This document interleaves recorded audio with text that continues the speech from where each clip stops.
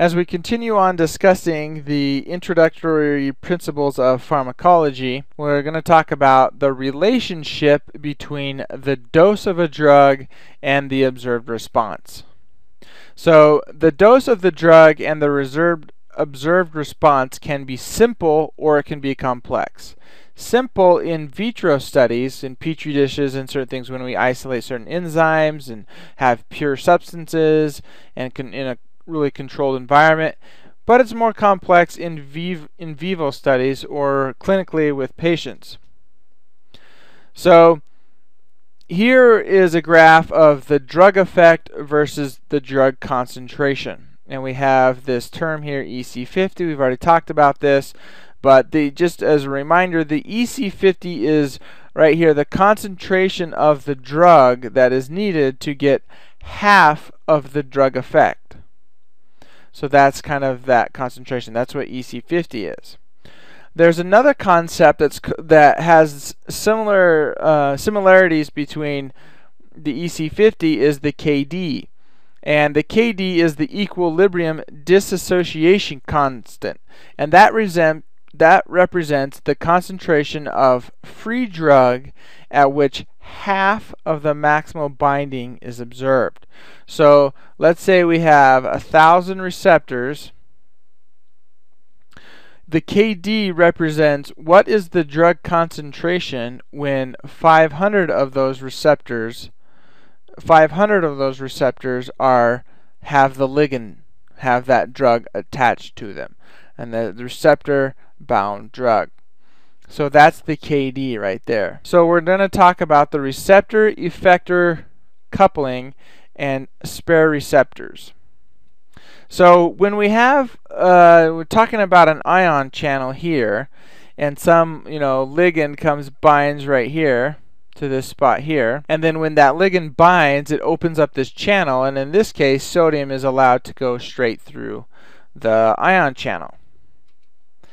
And so if I have six receptors, let's say I have, you know, these these represents receptors, receptors.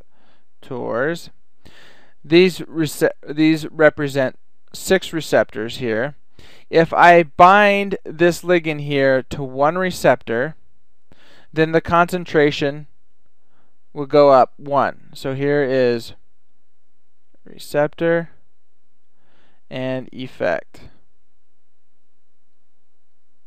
So if I bind one receptor, then it goes up a proportional amount. If I bind two receptors, it goes up another it goes up kind of proportional. So you can kind of see this line here. This is not exact, but just to give you an idea, some ligands or some receptors, when you bind one ligand, it has an effect and it does a certain job, and it's kind of proportional. As you go up, you know, one or two or three receptors, then you go up a certain effect and it's not it's not exponential. It's just a kind of a straight line. But then there's receptors like the G protein coupled receptors that we're going to talk about.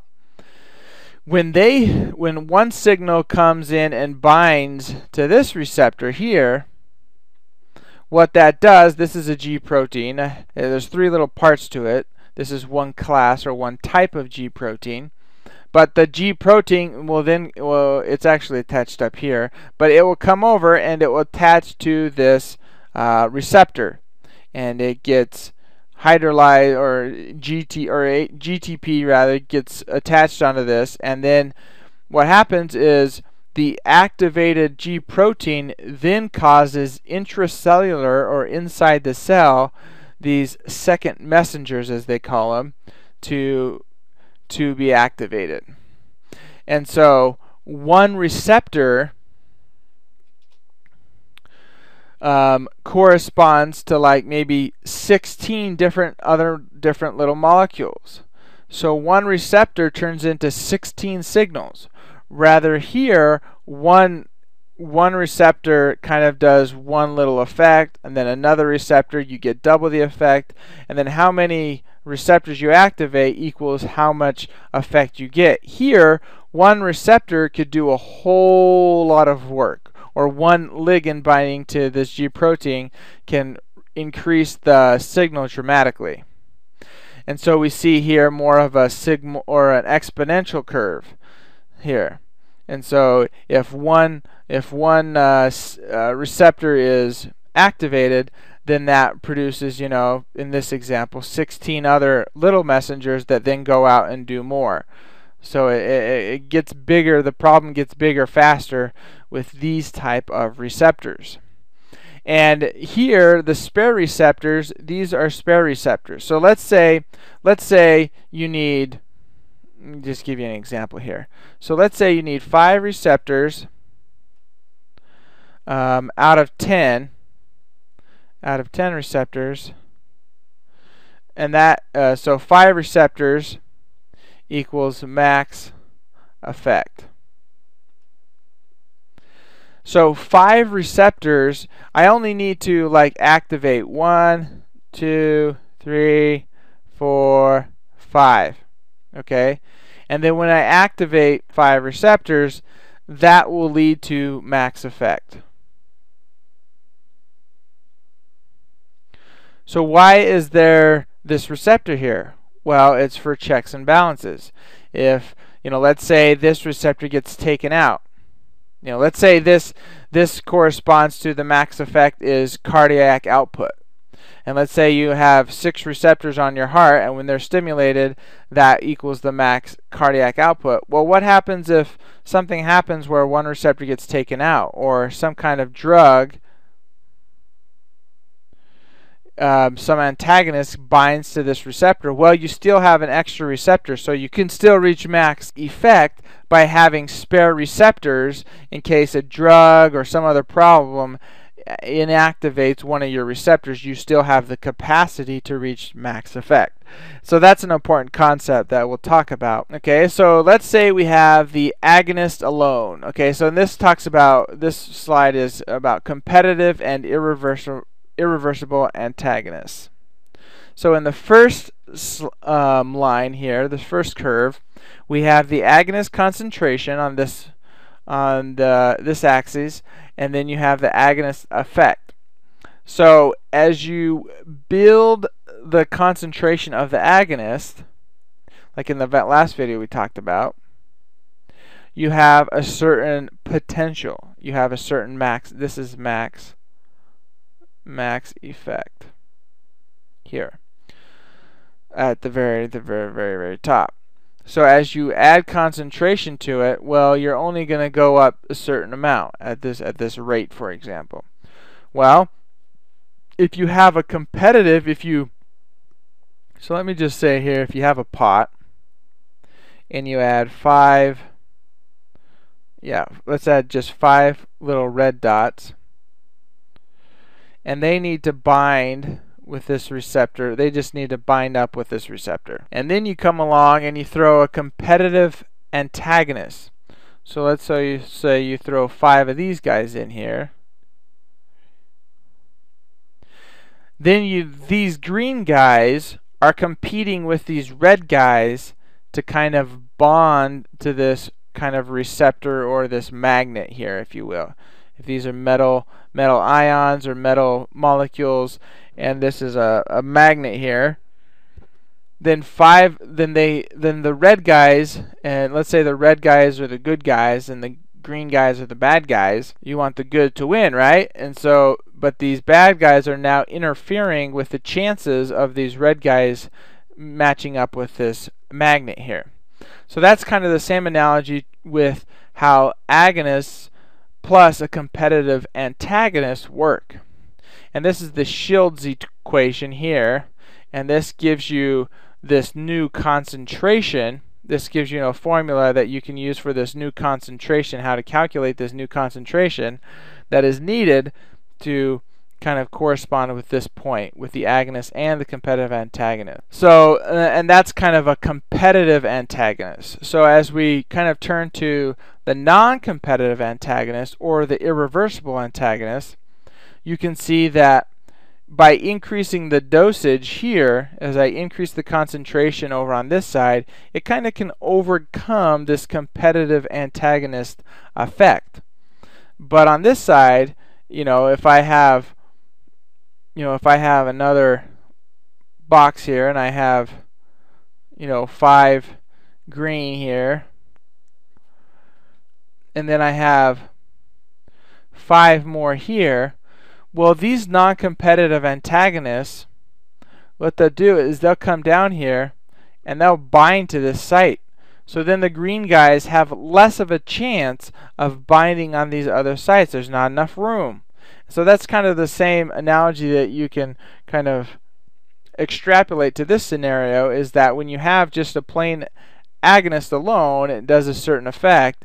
But then when you have the non-competitive antagonist uh, attached to the receptor within these agonists, they can't they can't initiate the the event as well as they could have. So let's say I have the example of the car wash. And I have cars coming in this bay and I have cars coming in this bay to get their car washed. Well, let's say only red cars. This car wash is only for red cars.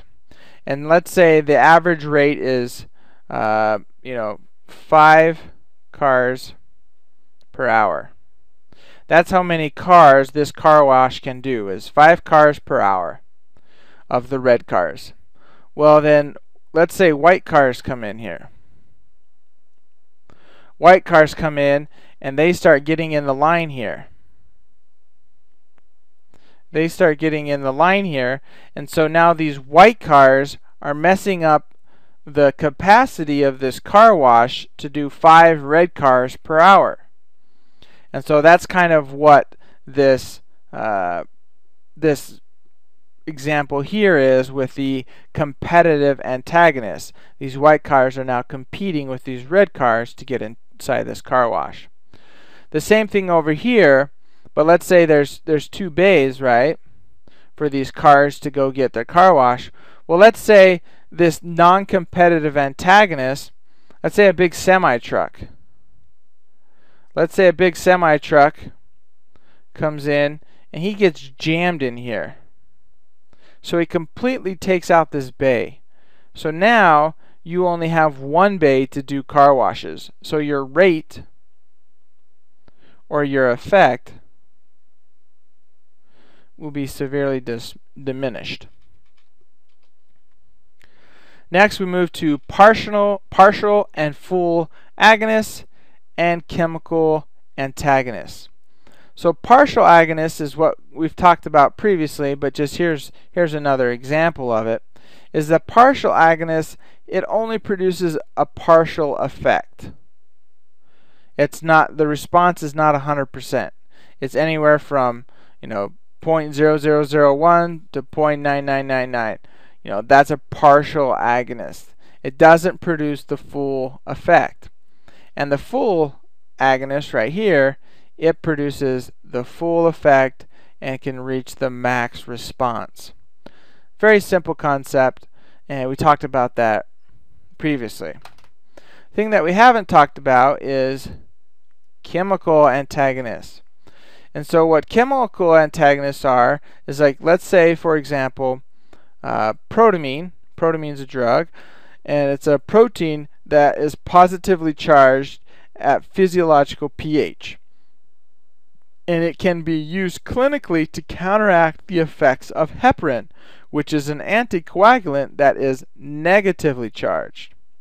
So you can probably see where I'm going with this. If I have a blood vessel here, and I have a positive and a negative charged atoms, or, or molecules rather, well then what's going to happen is that they're the they're going to bond together. These guys are going to stick together.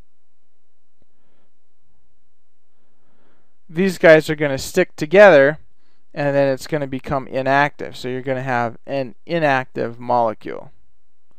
And that's it. So we'll see you in the next video.